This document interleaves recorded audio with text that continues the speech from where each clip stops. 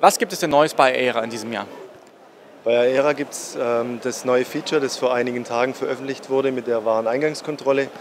Äh, das es den Praxen ermöglicht, äh, die, alle Bestellungen besser im Blick zu behalten, Wareneingänge zu buchen und immer aktuell zu sehen, welche Bestellungen sind noch offen und bereit, welche bereits geliefert sind. Was ist denn für die nächste Zeit noch geplant? Äh, Im Q4 oder Ende Q4 werden wir ein Redesign der Plattform vornehmen. Das heißt, wir werden ein bisschen moderner aussehen. Ähm, alle Features, alle Funktionen sind nach wie vor die gleichen. Ähm, es wird nur ein bisschen attraktiver auf der Plattform zu surfen und sich zu bewegen.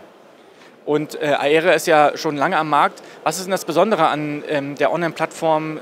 Was, was macht das so besonders für die Kunden? Also Aera gibt es jetzt nahezu seit 30 Jahren. Ähm, wir sind eigentlich die Bestell- und Preisvergleichsplattform für den deutschen Dentalmarkt. Ähm, wir haben nahezu alle ähm, Zahnärzte bei uns auf der Plattform. Was uns ausmacht, ist die Persönlichkeit, die persönliche Erreichbarkeit. Unsere Mädels an der Hotline sind alle mit zahntechnischem oder zahnmedizinischem Hintergrund. Sie können alle Fragen beantworten und was uns ganz besonders ausmacht, wir versuchen für jedes Problem ganz schnell eine Lösung zu finden. Stichwort Warenoptimierer, da habe ich jetzt schon viel von gehört. Vielleicht können Sie das mal ganz kurz erläutern. Was heißt das eigentlich? Was kann der Kunde dadurch besser oder anders machen?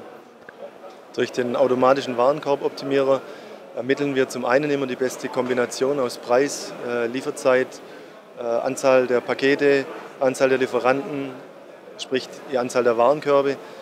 Ähm, wir kombinieren Preise auf, den, auf der kleinsten Packungseinheit, äh, rechnen Portofreigrenzen und Minderbestellmengen raus und ermitteln so immer automatisch die beste Option. Wenn ich als Praxis äh, zusätzlich nur meine Stammlieferanten beauftragen möchte oder kurze Lieferzeiten oder weniger Pakete haben möchte, kann ich das nach eigenen Vorlieben eben selbst bestimmen. Wir haben Schieberegler eingebaut, über die das dann äh, gesteuert werden kann und so bin ich bereit, vielleicht einen kleinen Mehrpreis auf mich zu nehmen für das, dass ich die Umwelt schütze.